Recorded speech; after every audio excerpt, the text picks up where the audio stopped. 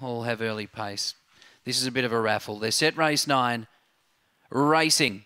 First away, Cool Senora, joined by Smoky Desire. Flaming Curse drops off from How's That Lizzie, Neat All Right. Karen's Boy, Accreditation, Sweet Charlie. Cool Senora, Smoky Desire, Match Motors. There's trouble, and here's How's That Lizzie, zooming past all of them. How's That Lizzie beat Smoky Desire, Karen's Boy, fourth Flaming Cursed, and then Sweet Charlie, Accreditation, Cool Senora, Neat All Right.